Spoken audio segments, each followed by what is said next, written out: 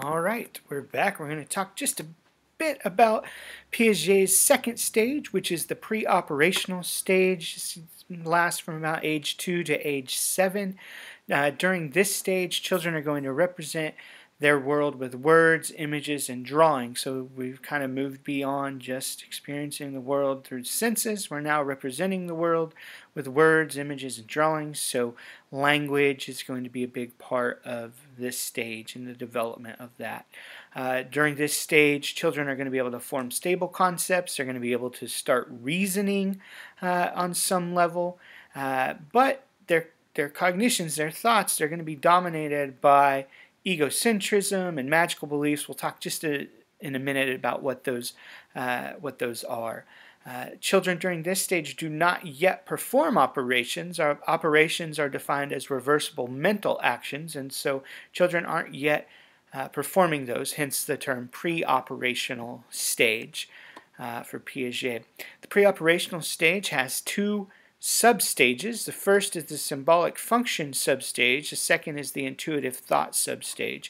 In the symbolic function substage, which lasts from about age 2 to 4, children are going to gain the ability to mentally represent objects uh, that are not present.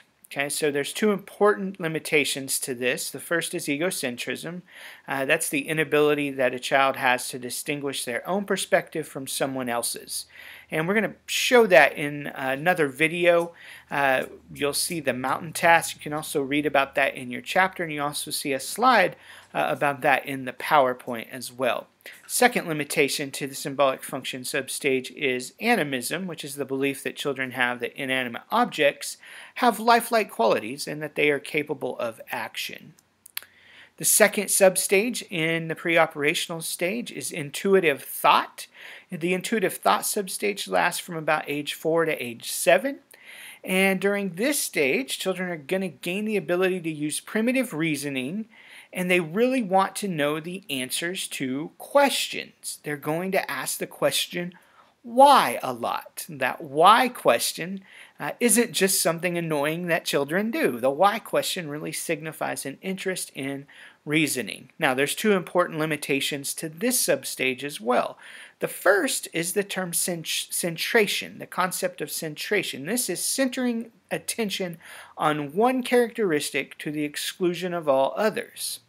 The second is conservation. This is uh, knowing that altering a substance appearance does not change its basic properties.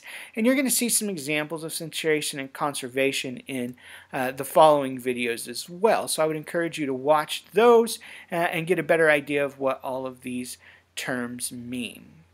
I will be back tomorrow to talk about socio-emotional development in early childhood. Don't forget to go take your quiz on Chapter 5, and I'll see you back here tomorrow on Thursday. Have a great day.